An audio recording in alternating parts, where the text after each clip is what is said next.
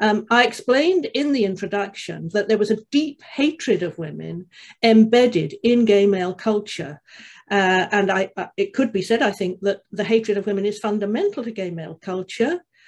For instance, drag, the hostile, mocking, parodying of women has always been central to that culture. It still is so, and I think it represents the values of that culture. I talk in the intro about what was called at the time, in some gay men's writings, the ick factor.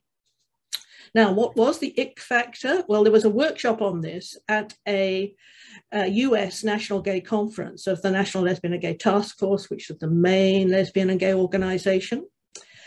And it was set up so that gay men could talk about how seeing women's bodies made them feel sick uh, gay men would talk about, for instance, seeing women's bodies, lesbian bodies on a beach and feeling that they had to vomit. Now, it's hard to imagine that a workshop at a conference could feature white people talking about feeling sick when they saw black people and so on. Extreme racism isn't acceptable to share in public and wouldn't be expected among people who saw themselves as progressive. But these gay men saw themselves as really radical, really progress, progressive, really in the forefront.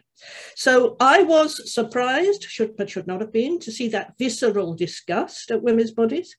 And I do remember um, in the early 1980s, when I was involved in politics in my teachers' union, going to a meeting at some men's house, and they were sitting around a table discussing. I went off to the toilet. When I came back, I heard them saying to each other how disgusting it was to hear women urinating. I don't think they heard me actually, but they were just talking about women's urination because women's bodies were so disgusting to them that they had to talk about it.